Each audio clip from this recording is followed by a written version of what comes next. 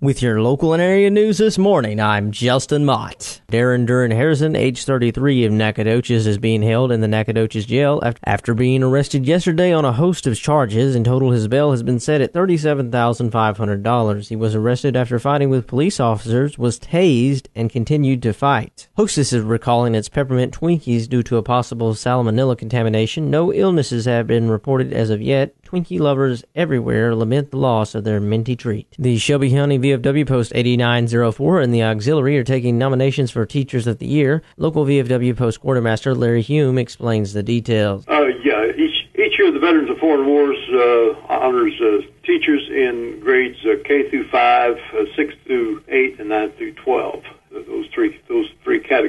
And anyone can nominate a teacher that they think is worthy, except the teacher themselves or, or a relative. And the first thing they have to do is, in 350 words or less, tell us why they feel their nominee is deserving of the award. You know, fill out the uh, application form and get it to uh, VFW Post 8904 by or myself by February the 15th, 2017. And from here, we will submit our nominees to the state, and state will make their selections, and and uh, in turn send them to national. For help on entering your nominations, contact Larry Hume at 936-598-2976. The Timpson Area Chamber of Commerce is going to have their membership banquet next week on Thursday, January the 19th at 5.30 p.m. C. Wayne Mitchell, president of the Nacogdoches County Chamber of Commerce, will give a speech about the changing nature of chambers of commerce. Uh, I'm going to talk about uh, the changing world of chambers of commerce. Uh, I've had the privilege of working with chambers uh, uh, for the past 30 years in different capacities, and uh, certainly the business has changed and has changed dramatically in the last few years. And uh, we'll spend some time talking about the necessity of making sure that your chambers are relevant to the communities and the and the business needs,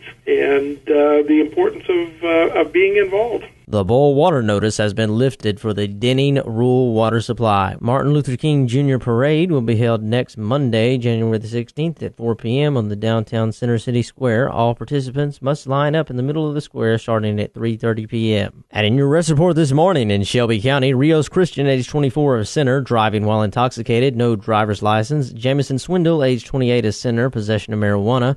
Dustin Hearn, age 21, a center, theft. Kelly Frazier, age 29, of Timpson, failed to identify a fugitive and false information. Possession of a controlled substance. Brandy Wright, age 36, theft. And in San Augustine County, Ricky D. Medor, motion for enforcement of child support, and Andrew L. McDaniel, burglary of a building. In your obituaries, 80 year old Reverend Dr. Clovis Rogers of San Augustine passed away Saturday the 7th at his residence. His service will be held this Saturday the 14th at 11 a.m. at the Reed Chapel Baptist Church with Reverend James A. Irving as the eulogist and Reverend Cedric Gray Sr. officiating.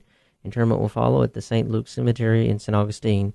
Visitation will take place today from 12 to 4 at the Sid Roberts Funeral Home. Second visitation will take place 6 to 8 p.m. at the Mount Zion Baptist Church today in San Augustine. And Alice Moss, age 70 of Center, passed away Monday, January the 9th at her residence. Her wishes were to be cremated. Memorial service will take place at 2 p.m. on January the 21st at the Watson Sons Funeral Home. This has been your local and area news.